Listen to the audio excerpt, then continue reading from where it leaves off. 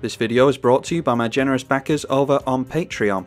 If you'd like to support the channel and get cool perks like access to the Discord, seeing the videos a week before anyone else, or exclusive Patreon only gameplays, then feel free to check out my Patreon. The link's in the description below.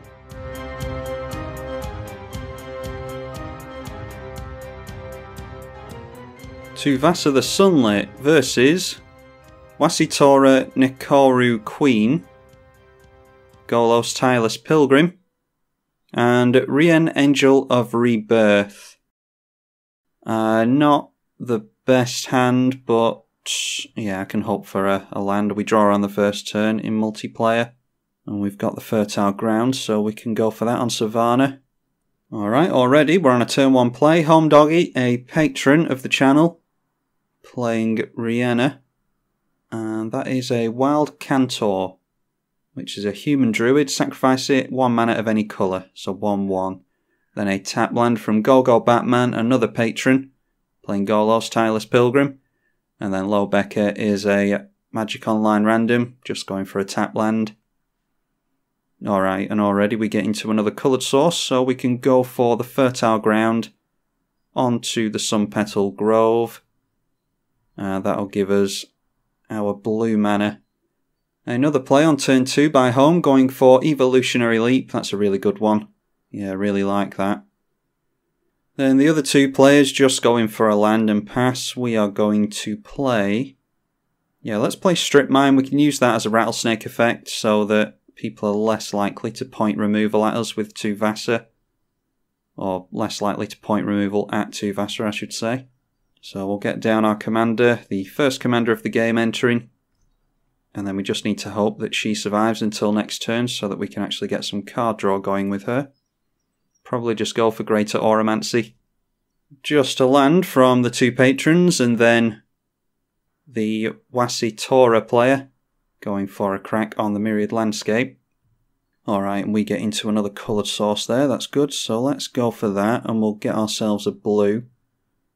I'd really like to get down the Eidolon of Blossoms, so that we draw even more cards off of these enchantments, but I don't want both of my enchantresses getting wrapped up in a board wipe. And there we go, there's already some removal. So Swords to Plowshares goes on onto Tuvasa. We'll still get the card draw. And there's a Darksteel Mutation. So at that point, I don't really feel like playing out anything else then if we don't have an Enchantress to go with it. Need to decide in the meantime whether we want to go for the Archon or the Eidolon of Blossoms Enchantress. We've got quite a few cards in hand, so I might try and get a board state going with the Archon. A hero of Precinct 1. Whenever you cast a multicoloured spell, you get a human token. And then one damage going in at Go-Go. Then Go-Go just playing a Maze of Ith. I think I'd rather save the Strip Mine for the inevitable Field of the Dead, to be honest. But we might have to shoot the Maze of Ith. Then Wasitora playing Xenagos, God of Revels. That's a scary one. That gives... Uh, where is it? Gains haste and plus X plus X. It doesn't gain trample. Yeah, I always think it gives trample, but it is just haste. Alright, uh, we have Wolfwillow Haven. Uh, let's go for the Archon of Sun's Grace. We've got two, three, four. Yeah, as much as I'd like to draw a card off of Wolfwillow Haven, we'll get out the Wolfwillow Haven first. Because we're not making a land this turn. Then we'll go for the Archon of Sun's Grace. That is Flying and Lifelink, a 3-4. And every time an enchantment enters under our control, we get a 2-2 Pegasus with Flying. And those tokens will have Lifelink as well, as long as this stays in play. Really good new Enchantress card from Theros Beyond Death. Knight of New Alara for home. Each other multicoloured creature you control gets plus one plus one for each of its colours. I imagine we'll see some Alara cards in this uh, in this deck, seeing as how it cares about multicolour. And now going after the Wasitora player and spreading the damage going onto Gogo as well. They maze on this thing. And Gogo playing a tap land, the Desert of the Indomitable and then just deciding to pass over again. Doing pretty well considering he's a Golos player and hasn't done anything other than play land so far. But we're up to a pretty slow start thus far. Ah, haven't played against Nyx Lotus yet. I'll be very intrigued to see how that does. It'll develop at least one colour at the moment. Yeah, let's just go in for the Eidolon of Blossoms actually. My favourite Enchantress card is Eidolon of Blossoms because it triggers off of its self-entering. And then it's an enchantment as well, so it triggers other Enchantress effects, such as the Archon of Sun's Grace. So we'll get a Pegasus token, and we'll draw a card. Then we'll go for Seal of Cleansing as well. And we'll see if I can make my opponent tap down the Maze of Ith. Okay, we're getting to another Enchantress, that's good. So if someone whites the board, we've still got means of drawing cards. We'll go in at go-go, and just deciding to take it by the looks of it, so we'll gain a little bit of life there, go up to 44. I think we are looking like the biggest threat at the moment, but you've got to think of what Golos can do in the late game. A 1-1 going in at Wasi 2-2 going in at the same player, and then we've got a 3-3 coming in at us. Uh, I think I would rather just keep the tokens, to be honest. Although it is one less mana for them, which could hurt. Yeah, we only lose one token. Let's go like this. We'll gain life there as well. We'll gain four life. Alright, now that's interesting. Maze of Ith is being used on the Wild Cantor, so no life will be gained there and no creatures will die. Just three damage over here and then a Life's Legacy, sacrificing the 3-3, so that is gain 3 and draw 3, I think. Oh, you just draw cards, you don't gain any life, so draw 3 there, and they go straight in for a Swiftfoot Boots. Go Go playing a Gateway Plaza and paying the mana for that. That will tap for any colour, but you've got to put mana into it when it enters. And now it is a Nykthos Shrine to Nyx as well. There's the potential for a lot of mana being made here. Okay. The devotion's spread out pretty thin at the moment, though. Although that does switch off tutors, switches off fetches as well, of which we have a few in the deck. And it's an 8-8 with haste and flying. Doesn't have trample, does it? Oh, it does have trample. Alright, so that gets through our Pegasus creatures. But deciding not to swing in. Uh, we've got Leyline of Anticipation now which could be useful. So I think we go for that, and that will be a means of us getting out our commander quite comfortably as well. So we'll go for the ley line. This will get us a Pegasus and draw us a card again. And then we get into another land for the turn. That's good. We can keep making lands. Uh, so, do we want to play anything else? I don't think so. No, we'll just leave it there. I'm going to swing in at Gogo with these two creatures because there doesn't seem to be a whole lot of damage getting through over there. So if we're struggling this early in the game, then I think we're certainly going to be struggling later on. So I'm not necessarily going to try and knock them out of the game immediately, but if their life total is teetering quite low in the teens or around the 10 mark, then I'm much happier that a Golos player is there It's better than the being at 30 anyway.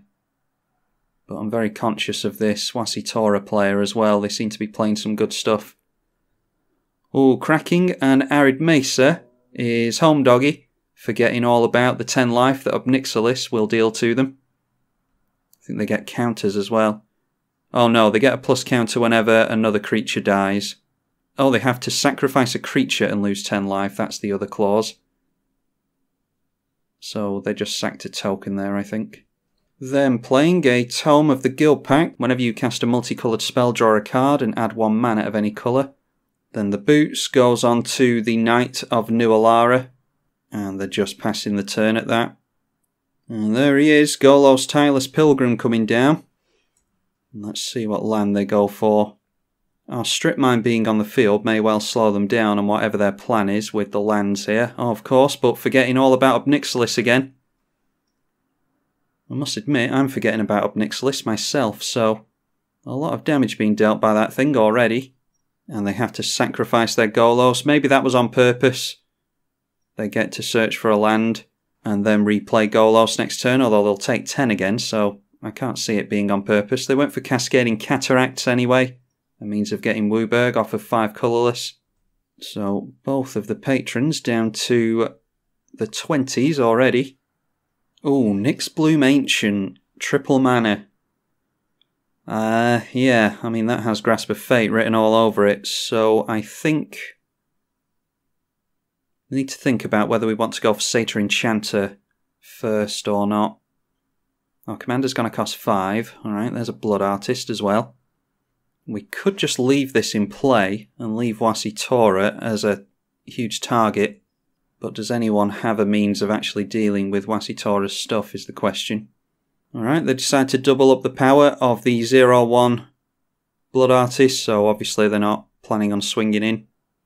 It's noteworthy though that they now have Devotion to Green of 4, and this triggers on tapping any permanent for mana, so this will tap for 8 now. And yeah, I think that definitely means that we need to get rid of the Nyxbloom Ancient. So I think we'll go just to try and draw as many cards as possible. We'll go for the Satyr Enchanter. Oh, Sigil of the Empty Throne is really good as well. Uh, wow, how much mana are we going to have then? That's 2, 4, 6, and 8. Might draw into another land. That means we can go Sigil of the Empty Throne and Stasis Snare. Yeah, let's do that. Sigil of the Empty Throne comes down, we draw two cards. Estrid's Invocation is really good, especially if it's got flash. Uh, draw a couple of cards, get a Pegasus token. And we do not get into a land, but I am going to hold off with the Stasis Snare. So I think I will swing in at Home Doggy there. And then all of these can go in at the Wasitora player. They can only block one of them, but will gain life at least. Okay, so Ob Nixilis is blocking one of the Pegasus tokens, so that will go down, but we'll gain 6 life from the tokens, and then 9 in total thanks to the Archon. And then I guess we'll get drained for 1, depending on where the Blood Artist is pointed. And a plus counter goes on Ob Nixilis as well from the token dying. And yeah, the Blood Artist is pointed at us. So we'll leave it at that. We can surprise our opponents with an Angel token thanks to Sigil of the Empty Throne. And we can go for, I mean, anything we want here. We can go Stasis Snare, um, Darksteel Mutation, Imprisoned in the Moon. Got a lot of answers going at the moment. Now a Xenagos is coming down, Xenagos the Reveler. That will get them into a token and it will draw them a card with the Tome of the Guildpact. And they're going to gain a nice chunk of mana here because they've got three creatures in play. Could go in for their commander. And it could have haste with the Swiftfoot Boots. Looks as though that's exactly what they're going for and they're getting some nice value from their stuff here. Really liking the Tome of the Guildpact. And assuming there's no trample in play, these coming down as chump blockers isn't bad either. So the Angel Lord enters. She is an 8-7. And she is going to have haste and hexproof as well. So do we want to go for Grasp of Fate? Does that get around... No, it's targeting. Some of these things get around targeting, but... No, we won't be able to get rid of anything from the Golos player is the problem. Yeah, it doesn't have trample. I'm just going to leave it be and hope that they help us out. Getting rid of, well, either one of these players, but I think they're just going to leave it back, to be honest. Because we're looking like we're quite threatening at the moment. Yep, just leaving it back. Now, depending on what Go-Go aims for here, we might be able to go for Grasp of Fate instead of the Stasis Snare. Ooh, and all is dust. Wow. Darksteel Mutation doesn't make it colourless, does it? I've looked at this a million times for this exact reason. No, if it turned it into a colourless artifact, we could save our Archon of Sun's Grace here. All is dust, that's a really good one. Yeah, I mean, I don't see that there's anything we can really do. We go down quite a bit of mana as well. Uh, one, two, three, four, five, and six. Could get down our Tuvasa again. Well, I'm definitely going to sacrifice the Seal of Cleansing. Uh, we'll get rid of the tome because that's card draw. This isn't anywhere near as frightening when triple mana and devotion is gone. Yeah, I think that's pretty much all we want to do. That all is dust really hurts. So at the moment, we need to think if we want to go for Eternal Witness onto the Leyline of Anticipation or onto the Sigil of the Empty Throne. Or if we just want to try and build up a board state with two Tuvasa again. Anyway, a bunch of Blood Artist triggers going on the stack, and it looks as though they're all going on to Go Go as punishment for playing the All Is Dust. And then Ob Nixilis would get some counters, but it's obviously not in play. Rienne is whenever another multicoloured creature you control dies, return it to its owner's hand at the beginning of the next end step. Alright, so what is that for them? Uh, they will get back the Knight of New Alara, and I think that's the only multicoloured creature they had. So go go going down to 8 and can't say I mind that after the all is dust. Yeah, if we get into a land, I think we can go Eternal Witness into the ley line again. And then maybe hold up all our mana for two Tuvasa the turn after. It's really slow, but if we can have the ley line out for the rest of the game, it really helps us. And that all is dust might be playing into the Jund player's hand here because I dare say they've got a lot of haste in the deck. Wasitora comes down anyway, followed by a Darksteel Plate which cannot be equipped, but it's not likely to get destroyed anyway. Okay, so no land for us. So in that case, maybe we just go Tuvasa and we'll just hold up the strip mine and see if we can hurt anyone with that. A Vedalken Orrery. Yeah, that is pretty much a Leyline of Anticipation, but it's an artifact. Already shown how good that effect can be in a game of Commander. Now from Golos, Honden of Life's Web. That is a shrine. At the beginning of your upkeep, create a spirit for each shrine you control. So, I dare say they've got more than the one shrine in the deck. Then just tapping out and passing. Just trying to think about my next turn, and I think it depends on where the Wasitora player swings in. They will probably swing in at us because we're at 55. But depending on how much damage they deal to us, I might go in for Darksteel Mutation onto that next turn or Imprisoned in the Moon. Gaia's Blessing, that shuffles it back in and draws cards, so they're getting the Xenagos, Ob Nixilis, and the Nyxbloom Ancient back into the library. And an exquisite blood. Wow, so they're going to start gaining a lot of life themselves. They'll actually get to way more life than we've got within a few turns if that sticks around. Oh, Lightning Greaves, yeah, I was talking about haste. Something you'll often see in a Jund deck, but it's arguable that Lightning Greaves goes in pretty much every commander deck. Especially ones that run creatures, so that switches off our removal then. Although we can still go for Grasp of Fate at least. And okay, goes in at Golos. So Wasitora is going to get a 3-3 creature and gain 5 life here. So all we need to do is play 3 enchantments and strip mine the Maze of Ith and we can get rid of Golos, but that only puts us on very few mana and we are not drawing into many lands this game for some reason. So let's go in for Grasp of Fate just for the sake of drawing a card. And we might be able to take out Go-Go this turn, depending on what we draw into. Alright, going for Lightning Greaves in response to that. Because they do have the haste, so they're assuming that we're going to get rid of the Vedalken Orrery, which I probably am. Have to go for the Shrine on Go-Go side of the field. And I think Lightning Greaves here, just so I can point spot removal at Wasitora. Now we still don't get into a land. Wow, we're not doing well on that front. Turn 10. And we've only got 6 lands. That means that we have to go for Darksteel Mutation onto Wasitora in order to hold up the strip mine. And then we'll get rid of Maze of Ith. And then we can swing in and get rid of Go Go Batman. So yeah, maybe shouldn't have put too much stock into getting rid of the Golos player there, but after the all is dust. I'm just assuming that they're going to be playing a lot of board wipes. I don't know if that's right or not. I don't really know their deck. Uh, going down to 5 mana when we're already struggling isn't necessarily the thing to do either. But we'll see if it pans out for us. We've got a few turns and a few hits to take thanks to our 55 life total. And the big flying commander has been dealt with for now as well. Urza's filter coming down for home. Multicoloured spells cost up to two less to cast. I've never seen that before. That's really good.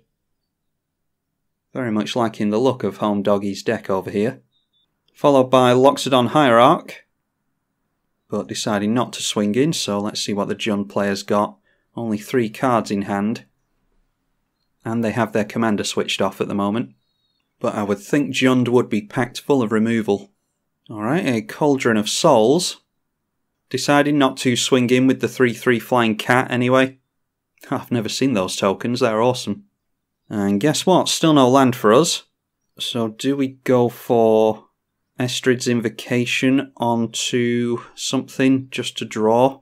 I'd really like to go for Eternal Witness onto the Sigil of the Empty Throne, but it's just way too slow with this little an amount of mana. Let's go for Estrid's. Okay, an Enlightened Tutor. Um, yeah, Enlightened Tutor doesn't really help us, I don't think. We'll copy the Grasp of Fate with Estrid's Invocation.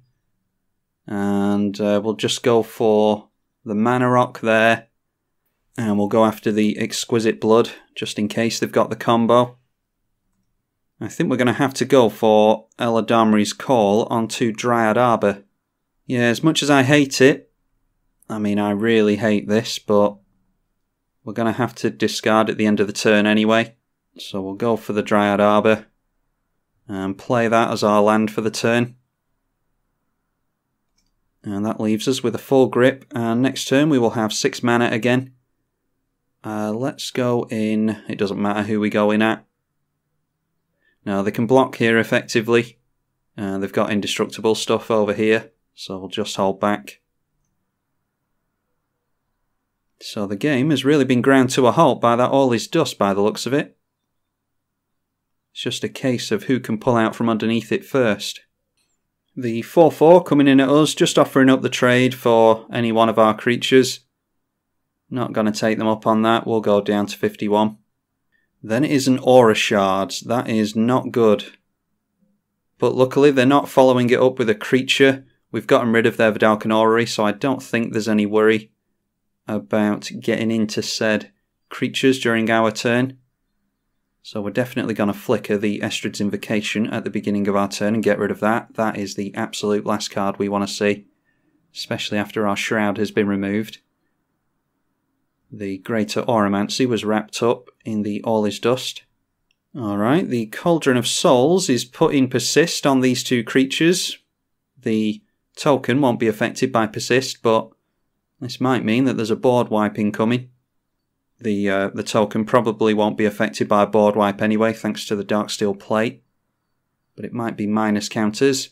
Yeah, it is minus. That's Decree of Pain, minus 2, minus 2 to everything. Just doing that to get rid of their Wasitora. So that will make the Darksteel mutation fall off. And then it comes back in with Persist. Uh, they don't have their Lightning Greaves in play because our first Grasp of Fate got rid of that. But they can put Indestructible onto it. So that is a 4-3 flyer now. And then deciding not to swing in with anything, Grasp of Fate or the uh, Estrid's Invocation will trigger here. And we are going to flicker it to get rid of that aura shards. I think I'll get rid of my opponent's commander as well, actually. Comes in as a copy of the Grasp of Fate again. And we'll get rid of Wasi Wasitora and Aura Shards, giving them back the Urza's Filter and the Exquisite Blood. So managing to get rid of the Aura Shards there, that's good. And then at the beginning of the turn, I'm going to go for Enlightened Tutor to grab the only artifact in the deck in Sol Ring because we can't draw into mana to save our lives, apparently. Or is it more wise to go for something like a Sylvan Library and hope that that can make us draw into lands? Uh, I really want mana now, but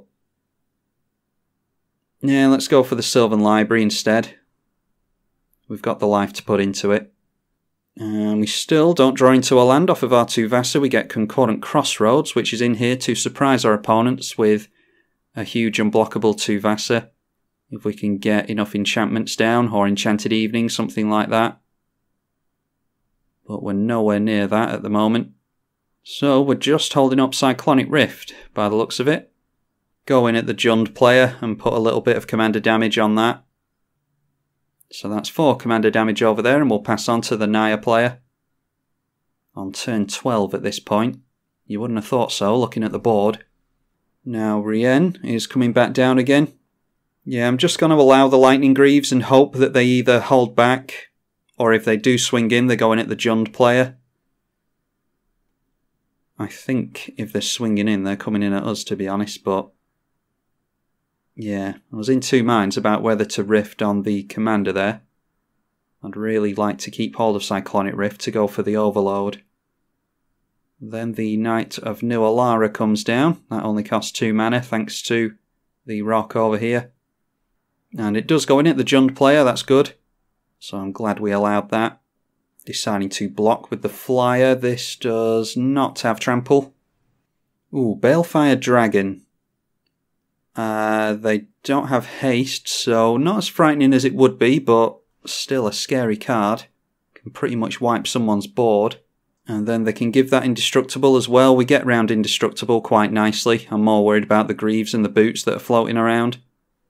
Okay, so now then, I'm quite happy with what's underneath this Grasp of Fate that wants to flicker. So I'm not going to... Yeah, I'm not going to bother this time.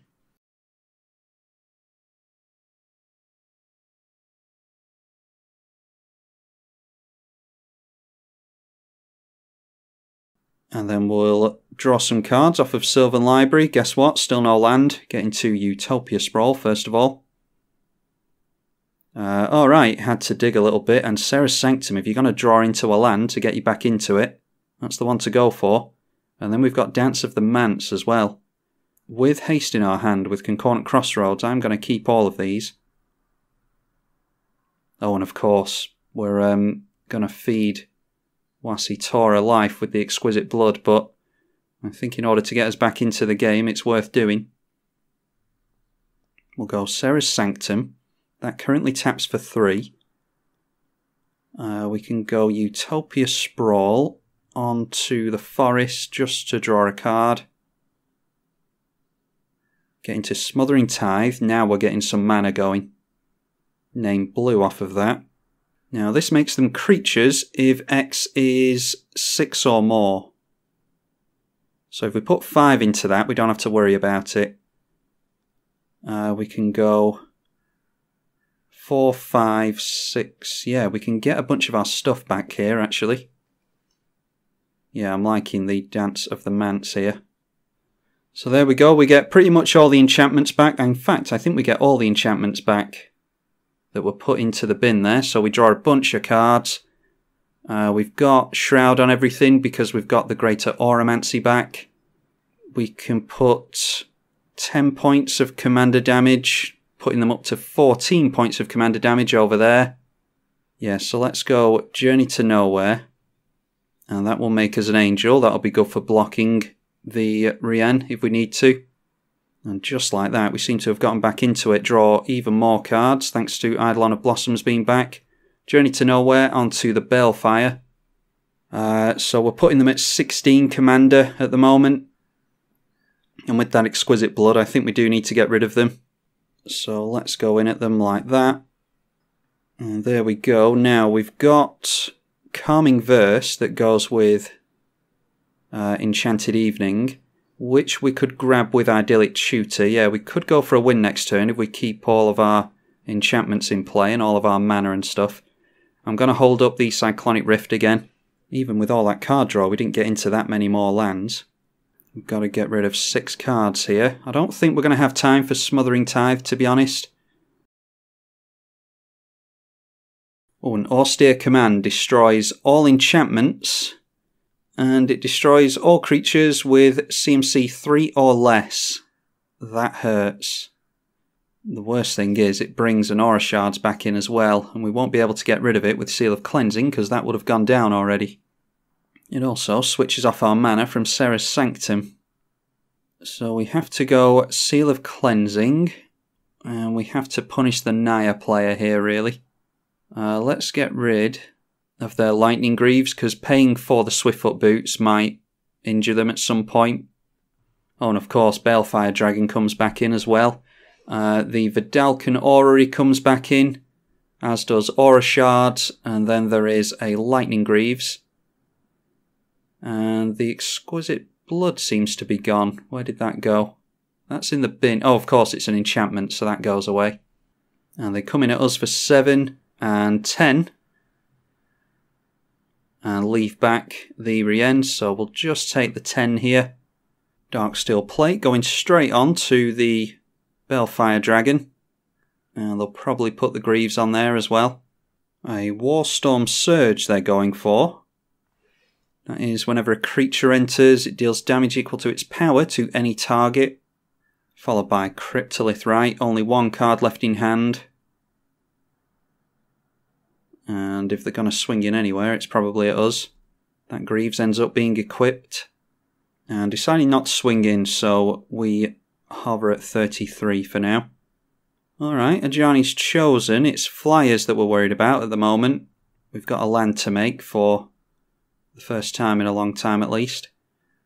Maybe we have to go for Eternal Witness into Sylvan Library just to try and hit lands. What I'd like to do is go Idyllic Tutor and set up um, Enchanted Evening. If we go for Eternal Witness onto Dance of the Manse, it just makes everyone pile in at us. But does that matter? Uh, we take 8, 9, 10, 11, and 17. Yeah, well, we'll go Sterling Grove anyway. That helps switch on the Serra's Sanctum. It protects our enchantments a bit later on as well. If it wasn't for all this shroud and hexproof everywhere, we could deal with things a little bit better. So we'll just do that. We'll go for Eternal Witness onto Dance of the Manse. And continue to hold up the Cyclonic Rift. We've got a blocker at least. Voice of Resurgence, okay. We don't have any counter magic in this deck, and probably should now that I'm thinking about it. I've never played this in uh, in multiplayer before. It's a 1v1 deck, but I have edited it for multiplayer. There's obviously a little bit of work to be done yet. People have dealt with our enchantments far too easily. Aura Shards comes down, and it goes after the indestructible... Oh, maybe they don't know it's indestructible. Either way, they're not going for our Sterling Grove at least. But that Aura Shards needs to go as well. If we can make it round to our next turn, Dance of the Manse will bring out the uh, the other Shroud enchantment, the Greater Auramancy. And Greater Auramancy will give Sterling Grove Shroud, and Sterling Grove will do the same for Greater Auramancy, so literally all of our enchantments will have Shroud at that point. That just depends on whether this actually manages to uh, stay in play or not. Now it is a greater good with some big creatures in play. They probably just sacrifice this for the card draw. Yep, they are still seeing us as the threat, so coming in at us with the 7-6. And we can't block that flying dragon anyway, so we might as well just block here. Nacatl War Pride. When it attacks, create X tokens that are copies of it and that are tapped and attacking, where X is the number of creatures a defending player controls. Uh, they could deal a lot of damage. If they put haste on that and swing in over here, they're going to trigger the Warstorm Surge a bunch of times. Might be time for Cyclonic Rift at this point. We'll see what they do with attacks, because it might be time to bounce that Warstorm Surge. Yep, Greaves is going over there. Then they go for Xathrid Gorgon, a 3-6 with Death Touch, 3 and tap. Put a petrification counter on a target creature, it gains Defender, and becomes a colourless artifact in addition to the other types. Activated abilities can't be activated. I don't think we have any creatures with activated abilities, but we'd rather be able to attack with things. This might be 3 damage to us again. It is. So we take six this turn. Now the Greaves going back over to the Dragon, so perhaps not swinging in with the Nacatl. Alright, going for the Cauldron of Souls, only targeting the um, the cat and giving it persist. Alright, and now they're going for the Greaves again, so they needed to take that off to remove the Shroud. So I assume they're going in over here and they're worried about it dying. And seeing as how they keep pointing the uh, enchantment at us, I think we're definitely going to bounce that. And uh, now they're attacking home with everything, so we're not getting attacked with anything here. Um, but I am still worried about that enchantment, so in response to the Nacatl War Pride, I'm going to bounce the enchantment so they don't throw a bunch of damage our way. That's probably why they're attacking him with everything here. Um, one, to get a bunch of triggers off of the cat, but two, because they know that they can pile in damage with this, so they don't need to attack us for the damage. Uh, Greater Good sacrifices the Loxodon Hierarch. So they're looking for an answer here, most likely. They've already used the Swords to Plowshares right at the beginning of the game. So probably going in for a path at this point. So we managed to get rid of the enchantment, and they discarded Smothering Tithe, Iroas, and Wrath of God. Glad to see the back of a Wrath, although it might mean that they've got one in hand still. Uh, three cat tokens come down. So they'll get a little bit of damage through here at least. Oh, and of course, I'm forgetting all about... Yeah, so the um, the Balefire Dragon can't be blocked here because they have to block with the um, with the War Prides. Yeah, I forgot all about that. So they have to take the six from the Balefire Dragon and one of the Nacatl tokens. So that's nine damage over there. Then six damage to all their stuff which will take out their commander. This puts us in a much more promising position. They decide to sacrifice their commander with the greater good, so we could trigger the land tax next turn. And it's pretty much free with Serra's Sanctum in play. So yeah, let's play the land tax. And we'll finally, by turn 15, have our land worries dealt with. Now then, Dance of the Manse. I want to put five into this so that they can't be wiped out with damnations and wraths and things like that.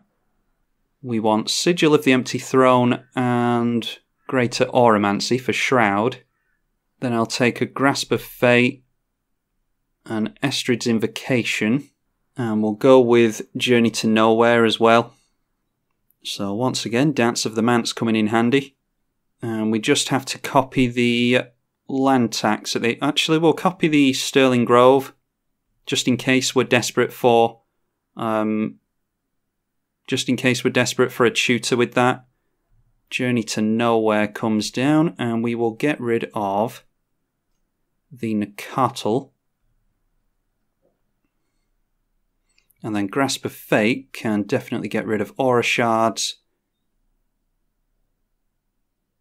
And we'll get rid of the Balefire Dragon as well. So just trying to set myself up for next turn at this point, but there might be a Bane of Progress or something over here. The good thing is that we don't have many creatures in place, so we don't look as though we can win next turn. And I think everyone's still in setup mode, because we're all dealing with each other's stuff quite nicely. A Mirari's Wake coming down for home. So that is 2, 4, 6, 8, and 10. And the colourless spells cost 2 less, so with 10 cards in hand, I bet they can do a whole bunch of stuff here. Luckily, we've managed to keep our life total up somehow. Alright, a Dragon Broodmother for only 4 mana. That's not bad. Swiftfoot Boots onto the Dragon Broodmother. Knight of New Alara comes down for the 50th time this game. And there is the Voice of Resurgence again. So not showing us any new cards. They're back at pretty much the position that they were in previously. And it is 7 points of damage coming in at us from the Broodmother. Didn't have a cheap enchantment to play out, unfortunately. So I'm just hoping that the Jund player can't get out the 5 mana enchantment and then go for a big creature. I don't think they can, because they don't have all that much mana. Out comes the dragon from the Broodmother. A Phyrexian Arena. That is the last card you want to see this late in the game. Really good in the early game, but The longer the game goes on, the worse Phyrexian Arena gets. Does put their devotion to black up though, so the the uh, the artifact that cares about devotion tap for three, and they get down their Wasitora, which they can give indestructible, but no haste for them. So deciding not to go for the enchantment that we know is in their hand. I don't think it got discarded. Nope. We know what's in their hand. They go for the indestructible Darksteel Plate. And it looks as though we are free to win the game next turn. Uh, but we'll play it safe anyway. I think I think we've got it, but we'll play it safe. We'll go Sterling Grove on the stack. We'll grab three lands with the uh, land tax. Our opponent gets a dragon.